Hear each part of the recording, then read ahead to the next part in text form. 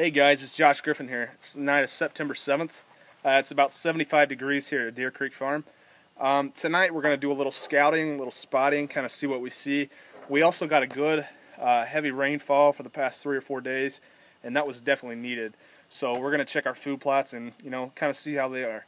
So I just got out of the shower using some Dead Downwind shampoo, and now here in the field I'm going to spray some Dead Downwind field spray.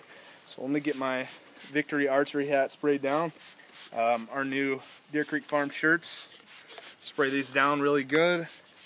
Spray my binoculars and rangefinder down. Um, before we do that, on our way to the ridge, we're going to spray some peanut bark lure on the trees, uh, next, kind of next to our stands. Um, let me tell you something, guys.